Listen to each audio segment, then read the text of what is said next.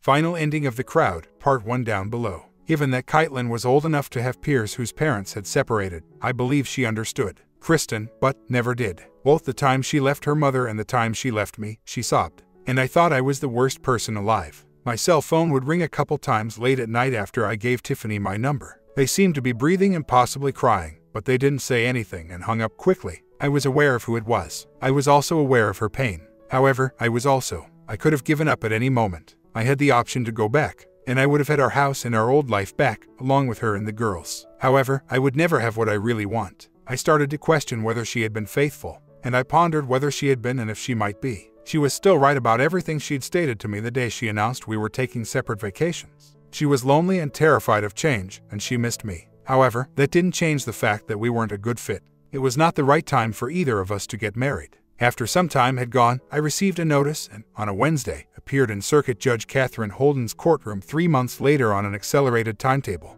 There I was with my pathetic lawyer, Jeffrey, who I don't think even had the courage to address the opposing counsel. His hands trembled, and I wondered once more if the world saw him for the blazing alcoholic that I knew he was. Tiffany sat beside Matt Henry, looking like something out of Betty Crocker in a subdued powder blue top and matching skirt.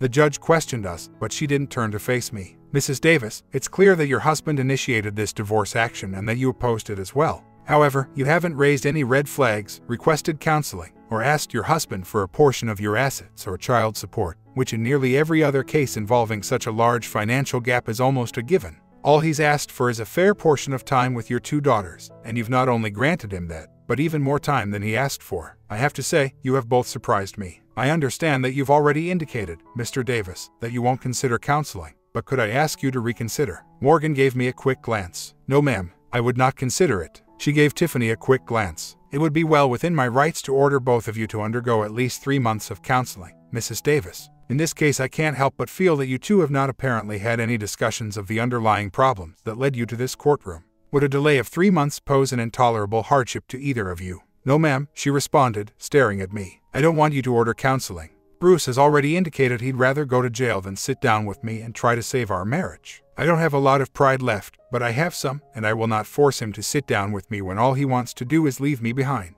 The judge looked at me sharply. Is that correct? You said you would go to jail before you'd sit down and talk with your wife and a counselor. Yes, ma'am. And if I said I would put you behind bars until and unless you agreed to go to counseling, I could hold you for six months without even another hearing. Would you be prepared to go to jail for that length of time just to gain your freedom from your wife and family? I'd go to jail. If you held me for a year or two, eventually you'll be replaced or die. And I'm not seeking my freedom from my daughters. I love them. I just want to be free of my wife. Are you in love with another woman, Mr. Davis? Do you have plans to engage in another relationship after this divorce is granted? No, although I hope I will find someone else after this marriage ends. And I hope Tiffany can do the same. She shook her head, first at Tiffany and then at me. I am not legally able to ask you about your emotional relationships because no party has made any accusations of adultery, infidelity, or anything like. That's all it is. I've spent seven years on this bench. I have witnessed numerous divorces. Divorces can occur when a couple grows apart or loses interest in one another. I no longer even need to search for the evidence because it is so evident.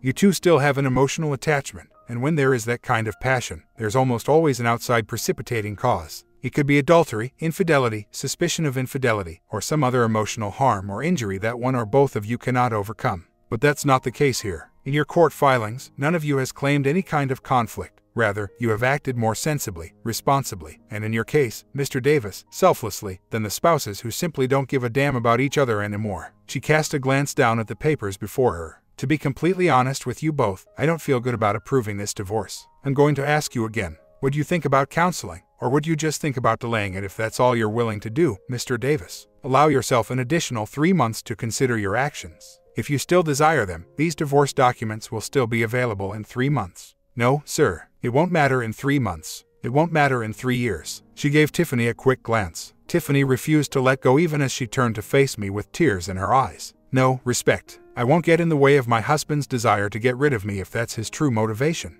Give his divorce to him. A divorce is approved. You are free, Mr. Davis, and you are free, Mrs. Davis. I hope everything goes well for you too. The divorce merry-go-round never stops, and Tiffany didn't even glance at me as she and Henry left the courtroom. I sat back down for a minute, and then noticed that a new attorney and new clients were ready to sit down. I'm very tall and in fairly decent condition, and I've had girls at the store and female customers come on to me, but I never took advantage of any of the offers. I didn't when I became a bachelor for two months. I walked out a free man, but freedom is overrated. A dark haired woman and her elderly silver haired grandma entered the store one mid December night when I was covering for a sick manager at Blockbuster.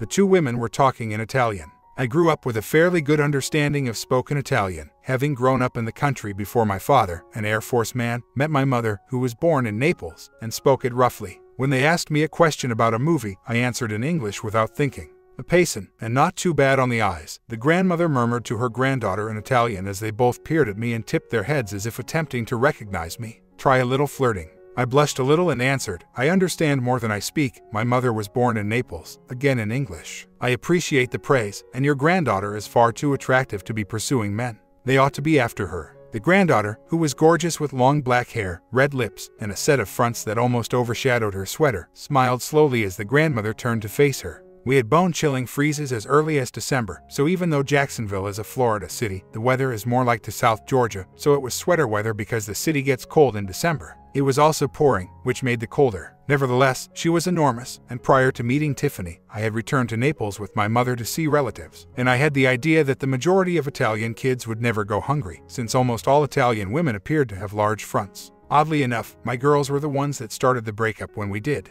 She had liked the girls too much when they first met. We need to talk, she said, and I felt a chill run down my spine. Those are four words you never want to hear, whether it's from your wife or your girlfriend. Where are we heading? That's another four words that no single guy wants to hear, yet that's what she requested. I'll be back at your place soon, and perhaps tomorrow we can watch a movie together. With a smile, I said. She gave a head shake. I mean it. Who are we? Play partners, girlfriend or boyfriend, those in love. Would you ever like this to be permanent? She read me as I struggled to think of a suitable response. Delana, why are we discussing this? I said. Why can't we just be buddies, goof around, and sleep one other's asses off? I heard every time I see your girls, she whispered, resting her face on my chest. I am aware of your devotion for them. They truly appeal to me. But I want children of my own. It doesn't get any younger. I'd make a fantastic mommy. Have you ever considered us? She was a good woman, sweet and lovely, and she wanted more from me than I could give it to her, just as I had wanted more from Tiffany than she could give it to me. I could not lie to her. That was the last time we spoke, and when I dropped her off at her apartment, we shared a kiss and I knew there was no point in phoning her again. A year later, I received a card from her announcing her wedding in a large Mandarin Catholic church, but I didn't go because I couldn't believe I had been so foolish as to let her go. She was a wonderful person and a terrific time, and I didn't love her. It was a Sunday night in April of 2007. I was at home at 11 p.m. after ending a shift at my home blockbuster when the phone rang and I answered it. It was the sound of their mutual slumber. She let out a long, shuddering sigh and he inhaled loudly and then it sounded like he was resting down beside her. She wasn't that good an actress, I don't think anybody could be. She needed a minute to catch her breath, and just as I was about to hang up, she did. She began with a whispery voice and grew stronger as she spoke. Bruce, I genuinely feel bad for you. You lost a woman who loved you because you had a wild hair and your emotions were harmed. And now, unless you'd settle for some pitiful time, you'll never get me back. She finally said, Bruce, are you still there? Tiff, not again. Never call again. I cracked the flip top off my cell phone and, when it rang once more, I put it on the floor and murdered them both with a clock radio. When that, I went to my liquor cabinet, took out a nearly full quart of Jim Daniels, and started to get really wasted. Even though I didn't have a lot of extra money, I had to replace my cell phone because I needed one. And when she tried to give me a stereotypical phone cuckolding two nights later, I destroyed the new one completely. I got a third phone and broke it three nights later, even though I didn't want to replace it because there has to be a way for the corporation to get in touch with you. I was aware of my foolishness, but I had no choice except to destroy the phone, drive to her place, which used to be our house, or crush him in his flat. If I did the latter, I would not be able to see my girls again unless it was during jail visits. A kick to his back sent him through the doorway, slamming the door open so hard it bopped him in the face before he got all the way in, bringing the cheap wooden coffee table to splinters. Two weeks later, he was walking into his apartment about 8 p.m. in the dark when I came up behind him just as he unlocked the door. He went to his knees and shook his head, and as the door slammed back, it bled his nose and broke his lip. He was bleeding. It sucked the breath out of him, and he just laid there for a minute. I sat on the couch opposite him and just stared. Glancing up at me, he noticed that I had shut the door behind us, meaning that we wouldn't likely be disturbed until our conversation was over. You trash, I'm bigger than you and I'm going to crush your face in, no matter what kind of karate junk you try. You are a coward. Had to leap ahead of me. You're terrified of me. Not only do I have a bigger D than you, but I also make Tiff scream louder than she ever did for you. I extended my hands in a gesture of reconciliation. I'm sitting here in peace and quiet right now. I won't pounce on you. Would you mind trying to kick my behind? Please. I could have killed him, but I broke his nose instead. He stayed down longer that time, but eventually he just shook his head and rubbed the blood out of his eyes. He had the heart for it. He got up and charged me, and after I put him down, he got up again. He was holding his side and he couldn't breathe right. You know she loves me. She is not merely inciting you with that statement. She could spend hours playing with it. I let her suck me until my skin becomes sore. Furthermore, there is absolutely nothing that I want to do that she won't do. You're the stupidest moron I've ever known. You threw away that piece of ass because you got your feelings hurt. I just stayed sitting on the couch across from him without saying anything. I'd sent him into his huge screen television, which had been hanging from the wall, and it was now a collage of glass and metal on the floor. Two seats held nothing but kindling. Scattered about his den was a quite good mounted modern artwork. You can still leave and I won't hurt you. He grinned, really. I had to force myself not to like him. Your move. Well, let me get myself up, he said, approaching me so quickly that I didn't notice the chair leg until it was zipping by, hovering just above my head. I seized it from him and struck him, first in the stomach, then over his kidneys in the back. Like a balloon with a spike thrust through it, he deflated. He was not going to get back up this time. I took a seat again, and eventually he managed to roll over onto his back. For the first time, I could see he was tired when he looked up at me. I guess I should taken that karate crap seriously, but I always thought it was camera tricks. He spit blood and laughed. Shows how much I know, right? For a wuss, you didn't do too badly. For a few minutes, he reclined and attempted to take an air. I guess you're going to beat me to death now, right? No, how can I beat you to death? I was never here. I'm in a video game marathon at a friend's house in St. Augustine right now.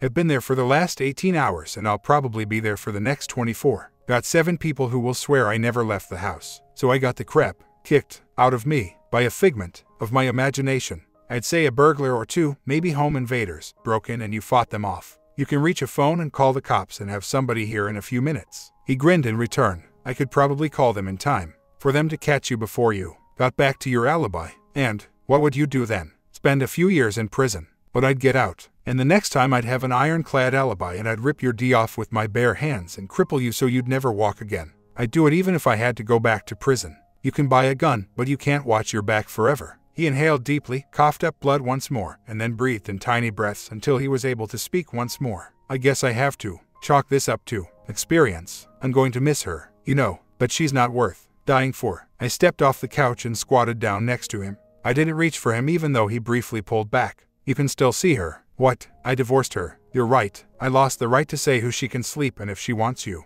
That's okay. But, I gave him a quick peek down and chopped in the direction of his D. He winced. But, you will never, ever, go along with her calling me while you two are sleeping together again. As long as you live. I don't care how you do it, but convince her that would get you killed. If she really likes you, she ought to be willing to stop tormenting me. He gave a head shake. I thought it was true. You still love her, don't you? Why in the hell did you throw her away? It was the best thing for both of us. Don't try to figure it out, and please, if I can ask you any favors and I won't hurt you if I find out you went against me, don't ever tell her I still love her. It would just make things worse. It felt as though I had never left when I got up and left the house in the middle of the night and returned to my friend's all-night gaming session in St. Augustine in an hour and a half. Nothing further took place. A week later, the children told me about Uncle Stephen fending off two men who broke into his house. Mom wept and accompanied him to the hospital for the entire day. After a while, she and Uncle Stephen returned to their jobs, and the police were unable to locate the two black men who had attempted to rob him. At 11 o'clock on a Saturday night, my most recent cell phone rang.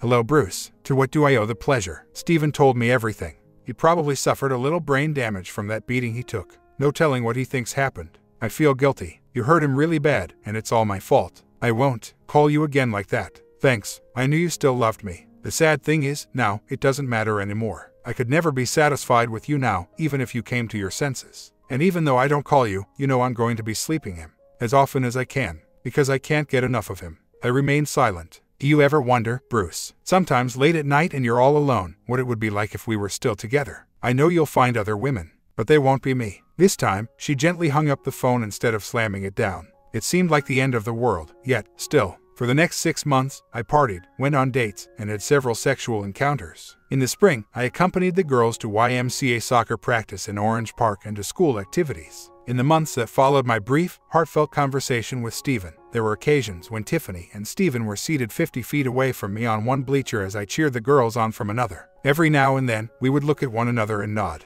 They were not overbearing when they cuddled and looked at me, but I could see Tiffany chatting to Stephen. They were simply another couple with children under observation.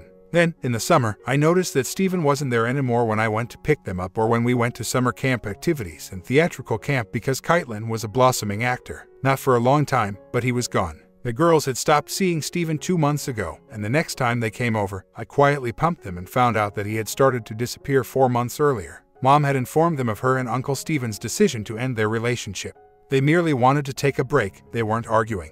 Mom hadn't sobbed, Kaitlyn informed me, but she had appeared depressed for a week before appearing to be back to her normal self. While Grandma watched the girls, the first new guy they had never seen before came to pick up Mom on a Friday night. I pondered whether she had finally had enough of his enormous D or if he had dumped her. She had now turned to playing the field, similar to me. Thus, we tried not to notice each other's activities as we lived our lives in parallel. The only thing that united us was that we were both young girls, one of whom had her period and had begun to grow little buds. Then, as a teenage or even preteen girl, I was actually relieved that Kaitlyn had a mother since I in no way felt capable of leading her through the perilous seas of adolescence. Six months or so after Tiff and I got divorced, my life underwent another significant transformation.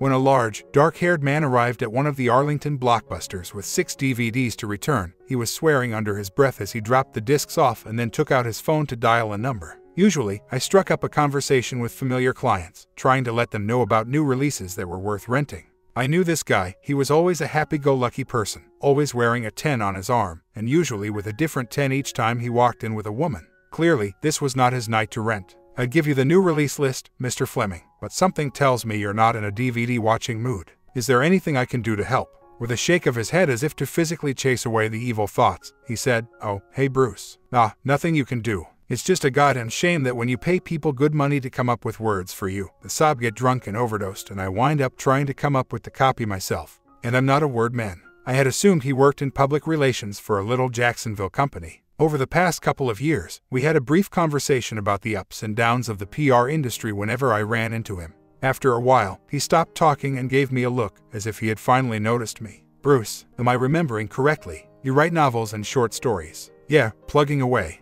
Haven't sold the novels yet, but I've placed some short stories. You ever done any nonfiction? Any PR or promotional writing?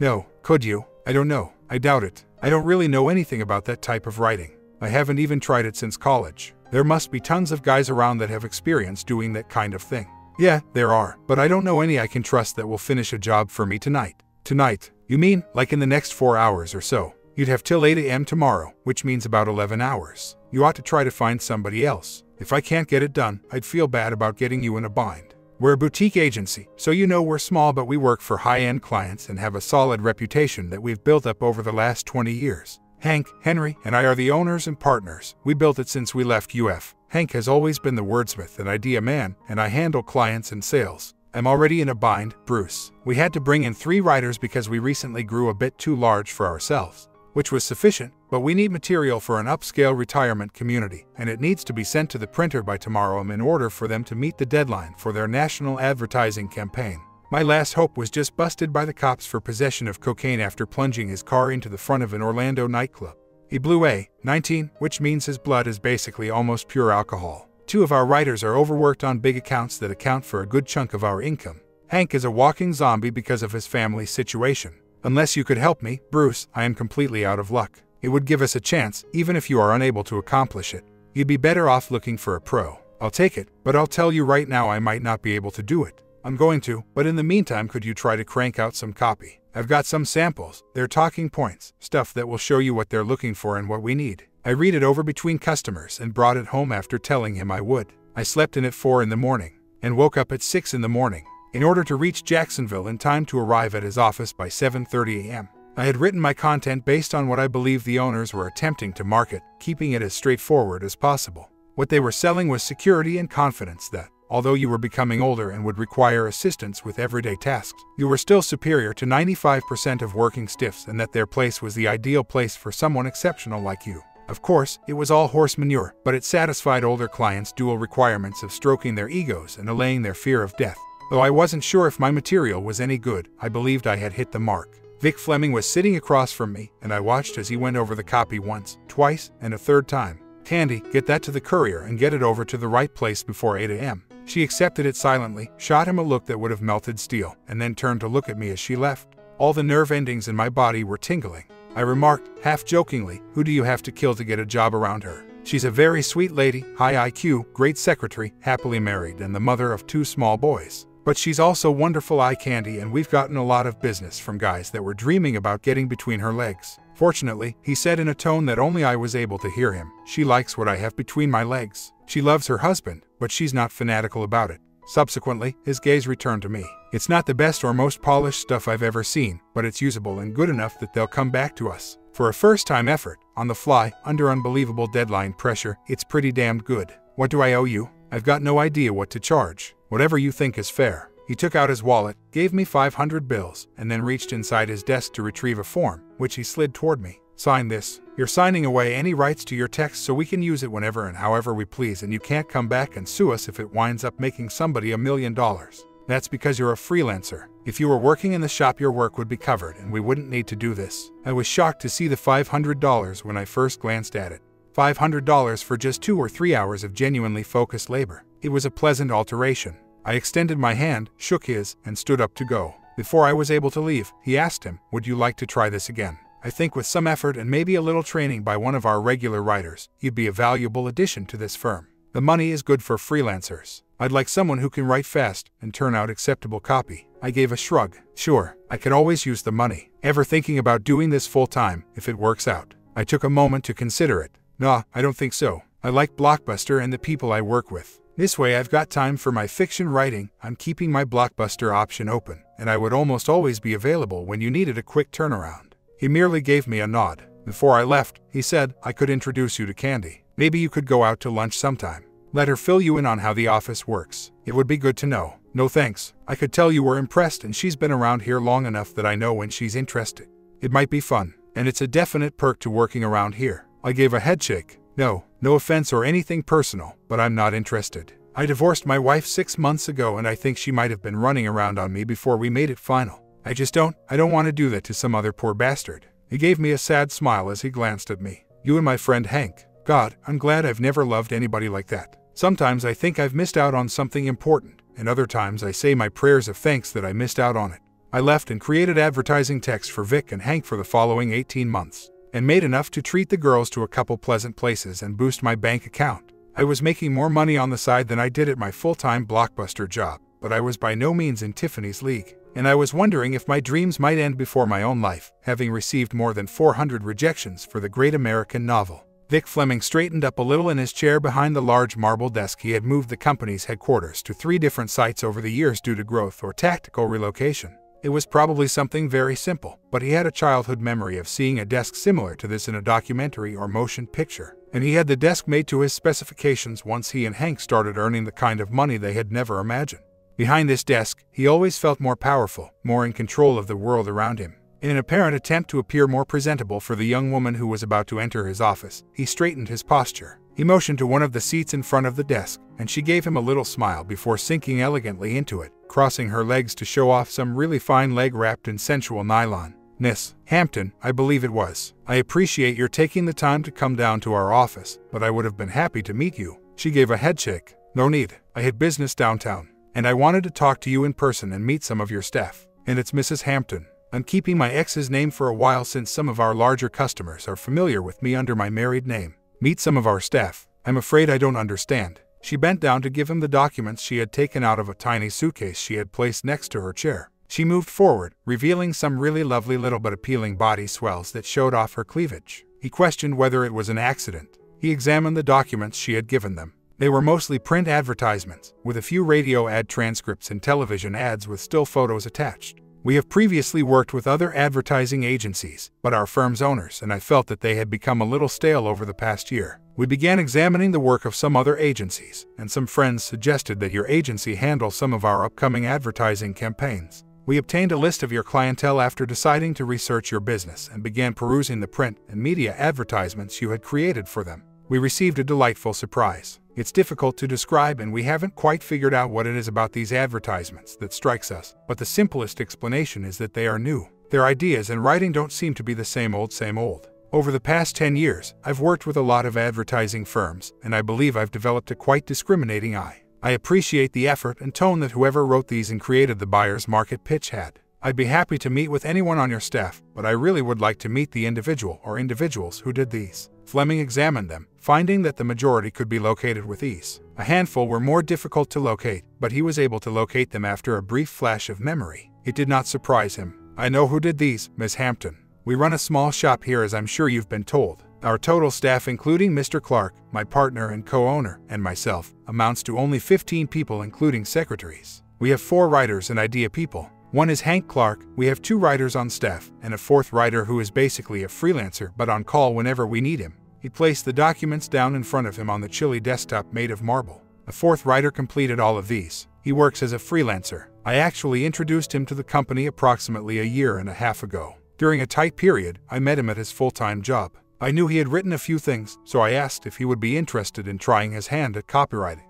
The rest is history because he did. When I first started working with him on freelancing projects, he was usually on time, produced quality work, and worked quickly, reliable, quick, and good. Beyond that, things don't get much better. She glanced at the documents underneath. He worked here part-time, right? I'm inspired, really astounded. You have no idea how much awful material I have had to sift through over the years, from individuals who were meant to be trustworthy experts. I'm quite surprised that you let him hang out there as a freelancer. Somebody else is going to notice this guy and snatch him up.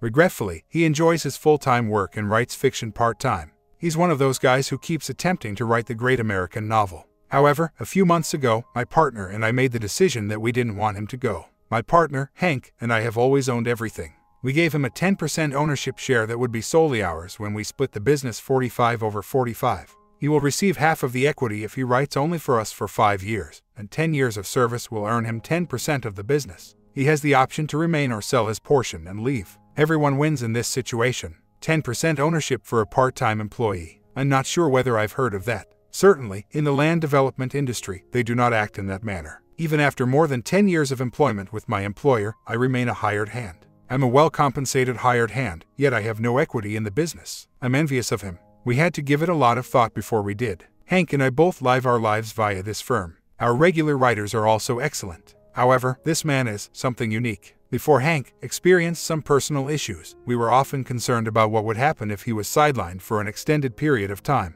I may be able to sell ice to people in the north, but I have absolutely no sense of language. Our writers are competent, but they are also workhorses who can complete any task given enough direction. Yet, in spite of the cliche, this guy is one of those guys who can truly think creatively and has an imagination. Furthermore, if he stays with us, Hank and I may gradually step back and let him take the lead while maintaining some degree of control because he is younger than us. Like I said, a win-win for everybody. She was alluring, but he really didn't want to go through the divorce dance just yet, especially when his fourth wife was about to enter the jealous bee stage. It's better to be safe and responsible than sorry. She returned the documents and said, I have some ideas and I'd like some of this word man's input. Do you think he'd be willing to meet with me tonight? There's a nice, new Thai restaurant in Bay Meadows that I was wanting to try out. We could eat and talk. I'll put it on my tab since it's business for him. He's single so if he's free there'd be no problem. Give me your number and I'll call him and if he can make it I'll have Candy, my secretary, call you. Okay, sure. By the way, what is this thing's name? Davis, Bruce Davis. My acquaintance was once married to a Bruce Davis, but I'm not sure if that's the same guy. The union did not last. Still, Davis isn't a particularly odd name.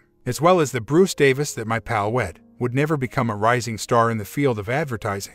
That was not the type of guy he was. Ask him directly. Sometimes the world seems quite little. At 8 p.m., I entered the Star of Siam. Candy called me since Vic had to go for a crucial business meeting. I believe he simply needed to return home and sleep with his fourth wife. He was preserving the marriage by a strong sense of camaraderie, perseverance, and a firm determination to avoid getting divorced for a time. Over the course of the last year and a half, we had become acquainted, and I was aware that he was having an affair with her, just as he would have an affair with whoever replaced her. I'd always liked him in spite of that, and the differences in our perspectives on women and life. He didn't really make any bones about who he was. Women were replaceable beauties, useful for a single task and for clinging to your arm at social gatherings. Apart from that, I doubt Vic had ever felt anything profound about women in his life. In that regard, he was the total antithesis of his buddy and soulmate, Hank Clark, and Hank had the scars to prove it. He was as much or maybe more in love with his wife as I was with Tiffany, but she had subjected him to an unbearable torment.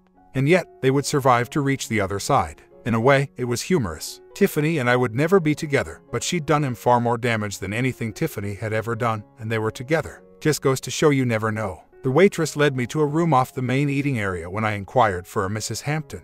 As she pushed past the beaded doorway, I noticed Mrs. Tiffany Hampton seated at a table near the rear of the tiny space. Beside her, she was rummaging through a briefcase. Beside her sat a glass of what appeared to be white wine. She turned to face me. She wasn't grinning, but she wasn't furious either. She embodied the epitome of the contemporary entrepreneur. She didn't seem to be missing a hair. She could afford to dress to flaunt her physique and face, as evidenced by the slightly appealing clothes she wore, but there was hardly any cleavage or leg visible. Hello, Bruce. Mrs. Hampton. I didn't try to get a seat at the table. Instead, I stood across from her. You going to sit down? I'm not sure. Most likely not. Not at all. Vic Fleming, your supervisor, described you as a company man who was always prepared to go above and beyond to complete a task for your organization. Still, I have to admit that I find that difficult to accept. I never know a Bruce Davis who would go above and above for anyone, in particular for a job that earned him a respectable wage. I assumed that, somehow, earning a respectable living went against your religious beliefs. As I gazed at her, I was astounded that she still looked so nice and that my initial reaction to her was exactly the same.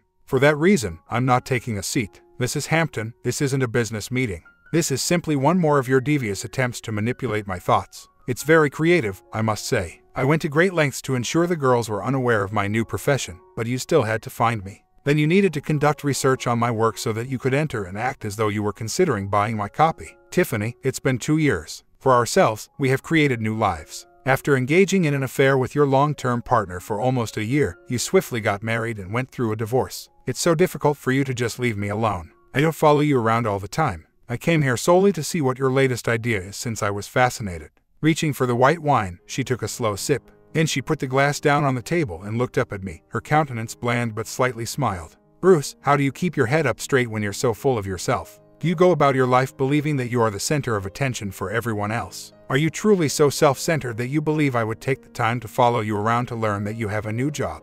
I would next look into your copywriting and act as though you're trying to find a new company, only to get another chance to speak with a man who, eight years into their marriage, dumped both his daughter and me. Just in case you missed it, I learned that there are other guys in the world, greater and superior than yours, to be exact. Perhaps I haven't discovered a better spouse yet. My initial endeavor following you was, I'll confess, a pathetic failure, but I'm searching and in due course, I'll locate one possessing a substantial one, the capability to conceal it from me when he's not around, and sufficient self-assurance to coexist with a woman who is uniquely herself. Men who are like that do exist. Simply said, I didn't see them the first two times. My knuckles turned white as I gradually clenched my fingers around the back of the chair in front of me. Tiffany, that's why I'm not seated. You would think that after two years, the poison between us would have been removed, but it doesn't. I keep returning like a bull charging at a red cape, so you have to keep tearing at me, says the man who hasn't spent any time, or even spoken to, his ex-wife in two years because he is so afraid of being around her. Bruce, I know why you can't bear to be around me. Reminding yourself of what you lost or threw away is intolerable. You're acting like a little kid by hiding and pouting, and you refuse to go outside and play. This is hopeless. She said to me, You are such a coward, as I turned to walk away. You are afraid of women if you are a big, harsh karate bully. You're scared to even have a meal together and do business over a chair. Stud, what exactly scares you so much? No, I don't bite, and I'm not even going to kiss it in your case. Does that help you feel better? I took a seat. Now, let's discuss business. I would not allow you to touch any portion of my body with any part of yours, by the way. There is no way to know where it has been or what you have been doing with it. She gestured for the waiter to bring my order, adding just in time for her to arrive. As the waitress took our orders and we got to talking about the material I had written, the exchange was tense to say the least. I must admit, when Fleming shouted your name, you could have given me the proverbial boot. For a moment, I wondered whether I had accidentally entered the twilight zone. Me, Bruce, composing business copy, getting into business for myself as a partner, and earning a really good side gig as a freelancer. To be honest, I had no idea you were capable of it. I studied her expression, expecting sarcasm, but she seemed earnest. It was nothing I planned. I can believe that. I was just at the right place at the right time. And you're a good copywriter. Writing is just writing. Simply said, this pays a lot more. What I said was real, Bruce, whether you believe it or not. I didn't search for you. I came across Fleming and Clark since the organization is searching for fresh ideas and new blood in its advertising department. You have a modern style and copy. The more money Fleming and Clark make, the better off you are. We need new talent. Why don't we have a look at some of the projects we're working on and share your opinions with me while we're here? She rejected some of the concepts as being ridiculous, cliched, derivative, and full of horse crap. In contrast, some caused her to tap her chin with a pen, which is typically an indication that she was reflecting hard on a subject. Taking out a legal steno pad from the briefcase, she began to take notes. I glanced around and saw that we were the final patrons of the eatery. It had reached 11:45 p.m. somehow, even though they closed at 12. The waiter lingered close to us, impatiently awaiting our payment and departure. Before I could grab the bill, Tiffany said, "No, this was on me." I said, "This is the commercial world. Funny how, when you're having fun, time just flies." Well, it was kind of enjoyable. I questioned her definition of fun and expressed my curiosity. She chuckled. You realize this is the longest we've talked, the longest we've been together, without snarling at each other in two years. Proves that nothing is insurmountable. Do you believe any of the topics we discussed would be of interest to the partners? She closed the briefcase and continued putting the papers away. Yes, in fact, I believe they could be. I genuinely believe they will be. We will most likely get in contact with your supervisors again within the next few days to a week. I'll most likely represent our side as the point guy. Could you collaborate with me for a few weeks or for as long it takes to complete this project, in your opinion?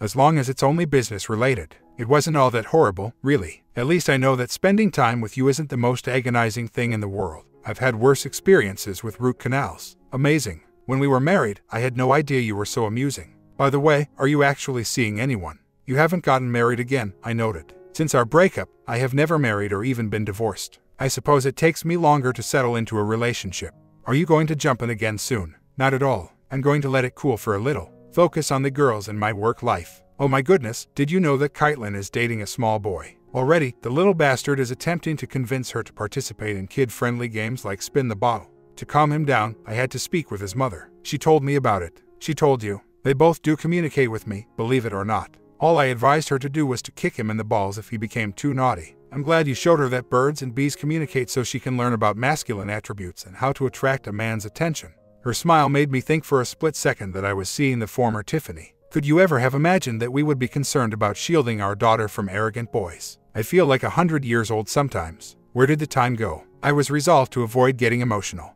I'm not familiar with Tiff. I hope I did. I hope. Never mind. If Vic or Hank schedule a meeting in the future, I suppose I'll run into you. A pleasant Adult Only Bar is located approximately two blocks away. Tonight they have a live band and our music. It's mom and the girls tonight. Would you like to wind down with a drink? Not at all. Regards, but not. Tomorrow I have to report to work. You can stroll to your car with me. She shook her head, looking up at me as we stood next to her old Lexus. Bruce, when did you go from being a man to being such a wimp?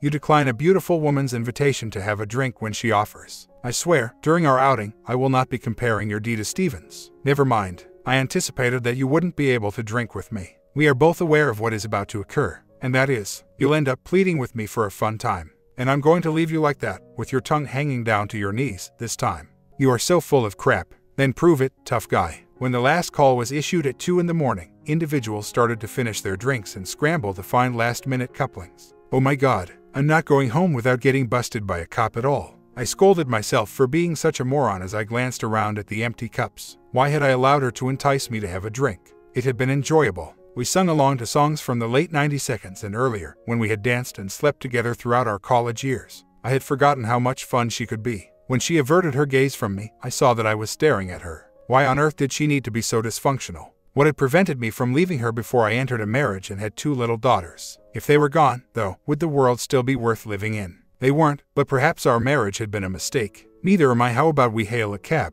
Share a cab? Not at all. Unless you really don't think you can resist touching me while we drive home. Since we arrived, you have had intense feelings. Discuss about your exaggerated sense of self-worth. This place is full of extremely attractive women, similar to the large blonde over there. And I should care about that. Why? Men are swine. Would you like to hail a cab? After 45 minutes, we were frolicking in the compact living area of the flat I had occupied for the previous two years. She had never stepped foot in my flat before. We seemed to be lying there for a very long time. I eventually rolled over to the side of the bed. I'll get a taxi for you. You should be home in about an hour, even if it's late. Leaning on her elbow, she raised her gaze to me. Together, we showered and got dressed, her for work and me for lounging about until it was time to head into Blockbuster. She sipped coffee from my coffee maker while sitting across from me at the little kitchen table. Where to from here? I go back to my life, Tiff, and you go back to yours. She gave me a dejected look. Last night changed nothing. I gave her a direct glance. Tiff, what could possibly change? Could it increase my love for you? Could it intensify the bonding even more? I've forgiven you for the long ago harm you caused me, and I suppose I accept your claim that you and Stephen did not have sex while in Hawaii.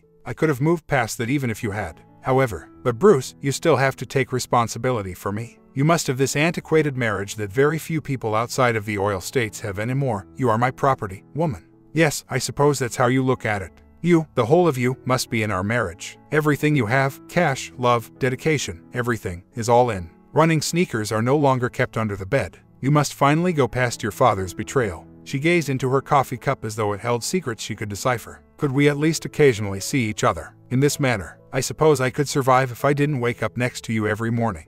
If I were aware of that, we weren't done together forever. My heart turned to stone, even though all I wanted was for her to smile. Tiff, I won't see you again. I am unable to. My heart is breaking over this. I know I can't have you, yet I want you more than anything else. As you are not ours. You've never been like that. You hide a certain aspect of yourself. For almost a decade, I made an effort to live with you in the hopes that you would change. However, you never did. Tiff, you never will. It's not in you, in my opinion. She got to her feet. So this is goodbye. Once, for all, and truly. It's goodbye, indeed. I didn't follow her out the door. I buried my face in my palms and pondered if I was the most foolish person to have ever lived or merely one of the unfortunate ones. I had just stopped by Candy's desk to drop her my most recent assignment. My birthday was on September 17th, and it was September 15th. Vic and Hank had asked me to come by Sardelli's, a lovely family-run Italian restaurant, for a birthday celebration and workplace party on the 17th. Candy was dressed in a reasonably modest suit and light blue shirt. Her breathing caused the blouse to split open, revealing cleavage unlike anything Delana had ever showed me. She smiled as she peered up at me as I bent over her desk to look down at her, getting a nice view. The view from up here is heavenly, Candy. She gave them a small bounce or wiggle that made me aroused and uncomfortable. I thought I might rip my zipper. Bruce, it's always good to be recognized. However, it always seemed to me that you were trying to stay out of office entanglements. Candy, you were wed till six months ago. I didn't want to get involved with a married woman, no matter how attractive you were. For this reason, I've always considered you were a good man. Many men wouldn't care that much, but I am aware of your motivation. Together with your ex, Candy, finally finished. I'm eager to go on, even though it took me a while. Are you currently dating anyone in particular? She shrugged, which made those feel good too. Would you consider a nice guy that's interested in your body? I didn't think you were ever going to get over that ex of yours. I needed some time. However, I believe I am prepared to go on. Do you think the past is behind you? Actually, for the past few years, I know a lot of guys in this area believe I'm just a slut, but two years ago was probably the best time for us to break up. Simply said, he was a wonderful man and father. We simply weren't suitable partners for each other. Would you consider being my date to my birthday party? You ask a girl for a date two nights ahead of time. I understand that you have a busy schedule and that this is short notice. If it's not possible, at least remember me for the future. Relax a bit. Yes, you can have me as your date. Right now, just for kicks, right? Candy, nothing hefty. All I want is some eye candy for my arm that evening, no pun intended. Then, let's observe its course. She gave me a fake slap. Damn, but it's good for a girl's ego to be around a man who really, really appreciates what she has. Consider yourself appreciated. After saying hello to Candy's two young children, who seemed to want to be friends with my two girls if the opportunity arose, I picked her up from her west side house and we headed toward the downtown area, where Sardelli's was situated just a short distance from the enormous Bell South Tower. After searching for parking for a long, we walked three streets in the muggy September air, which made me sweat, before entering Sardelli's. Arancini di Riso rice balls were popped back with red wine, and most of the secretaries, the word guys, Vic and his new wife Honey, who was clinging to him by her fingernails, and Henry and Patricia Clark were all there already. I received greetings, congratulations, and jokes about how being 33 was the official mark of official old age. When you were almost halfway through your retirement, you were no longer a child. When I laughed back, Henry and Patricia came over to give me hugs and pats on the back. Looked 10 years younger than he had when I'd started writing for him and Vic, Henry, no, Hank, as everyone called him. And that makes sense. Although I arrived somewhat belatedly, he had been through an absolute nightmare as a husband and wife, tormenting him in ways beyond my comprehension. After one night of drinking, he stated the only analogy he could think of was two fish trapped on the same hook. There was no way for them to escape each other, no matter how hard they battled and threshed to get away from one another or damage one another. Observing them and being somewhat aware of their experiences, I contemplated if I would have swapped places with my supervisor. He had been through hell, but adultery was not unavoidable. I was unable to go back in time, earn the trust of the lady I loved, and get her to eventually offer herself to me. It's possible that I may have fought another man or men. However, how do you atone for a father's transgressions? Vic got up and replied, Okay, okay. We finished the main course and appetizers and were enjoying some almond tortrons and marzipan lucky pigs for dessert. If only you two would quit eating your faces. The birthday boy has something to say now. Bruce, make a clever comment. Unaccustomed as I am to public speaking, I added as I stepped up, and even though it wasn't funny, the entire room burst out laughing. Perhaps because most of us had our backs to the wind, around two sheets. I pounded my vacant wineglass against the surface until the chuckles subsided. Joking aside, though, I'd want to express my gratitude to each and every one of you for attending and for organizing this party. As you are all aware, I work as a day employee at Blockbuster, therefore my pals and I sort of act like a family. Those men, I've known them for years. However, I feel as though I've gained a new family during the past year and a half. I consider you pals. I paused and surveyed the room, recognizing many of the faces. Most of you don't need me to tell you that this has been a lovely day. Difficult two years for me. My union came to an end. My spouse passed away. I received 50 more rejection slips regarding the great American novel. At that moment, the room erupted into fits of laughing once more. Everyone was aware of my chase of the GAN, as they called it, and made jokes about it. I pretended to be angry as I said, Thanks one hell of a lot. You are one of my pals. However, the truth is that if I hadn't met Vic Fleming one fall night, those two years would have been far more isolating, icy, and agonizing for me. I'm grateful, Vic. I took a seat after that. Vic got up once more and said, in the spirit of the night, I'd like anyone who'd like to make any comments about our friend to stand and do so. I'd like to say a few words. The entire group, myself included, turned to face the woman standing in front of the private dining room entrance. She was carrying an enormous handbag on her arm and was wearing a stunning black outfit. I'd given them her image, so a handful of them recognized her, but the majority of them were simply staring curiously. I had eyes I couldn't believe. She moved around the room until she was standing in front of the table that Candy and I were seated at. Tiffany, why are you acting in this way? I pondered. Believed we had made a settlement. Concluded matters. Bruce, I didn't come here to make you feel bad or to cause you any problems. Please give me a moment so we can discuss. Tiff, couldn't you have completed this at another time? For me, this was a party. I was enjoying myself greatly. Do you exist, Jesus, to bring me misery? I swear, once we're done, I won't get in touch with you or trouble you in any manner again. Honorable word. Candy reached over to touch my arm. Bruce, give her a few minutes. You must. All right. Tiff, what would you like to say? Reaching into the bulging handbag, she produced a snub-nosed 38 revolver. I sensed the sudden gasp for air throughout the room, not heard it. I froze as she held it lightly in her right hand. Subsequently, she extended her hand and placed it on the table before me. Reaching back into the handbag, she produced a small purple box, which she placed on the table next to the handgun. You could have heard a pin drop, in my opinion. Open the box, Bruce. My two hands trembled a little as I reached out and raised the jewelry box lid to see matching wedding bands made of diamonds.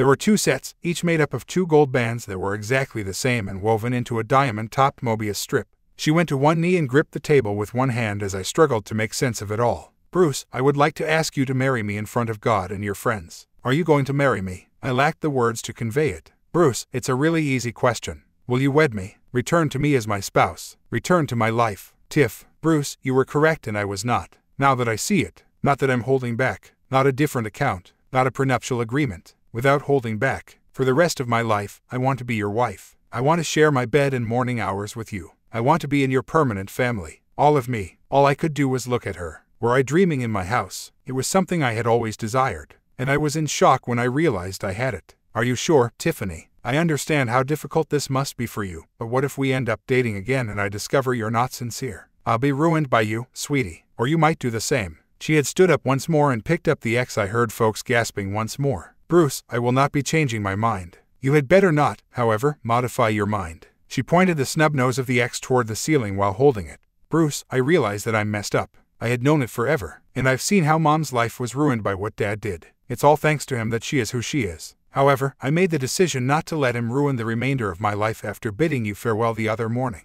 I want you in my life because I adore you. I'm going to take a chance on you not being my dad. However, she stated, not even flinching as she looked at me, I am not being wholly naive. I'm going to take this and blow your balls off if I ever, ever, ever catch you playing around with me. Bruce, that's the agreement. This is what you wanted if, after two years, you haven't been lying to me and you still love me. I've exhausted my options. The initiative is now in your hands. The diamond rings were left on the table in front of me by her. I'll let you go have fun with your pals. Bruce, consider it and come to a decision. She pivoted and commenced her exit from the private chamber. Candy gave me a back of the head whack. Don't be an idiot. I had Tiffany by the shoulders before she made it to the room's door. She was in tears. You do realize that this is unrelated to your success, don't you? I adore it. I'll own up to that. However, if you were a beach bum and just worth 10 cents, I would have accepted you. Bruce, I've learned my lesson. I promise not to let you go once more. I won't let you or the girls go again either, I whispered into her ear as I embraced her. For the rest of your life, you will be with me. After that, I spun her around and started presenting her to my pals. And life goes on, as a really brilliant writer often says. My F comment. Because he is making real money and has a different job with ownership potential, I believe she wants him back. When she left him behind for the vacation, it was precisely what she wanted, and they didn't get back together until she learned about his copywriting work. You know people like this in real life. Pause I do. Comment down below what you think OP should have done. Comment down below. Sub and bell and I will catch you in the next one.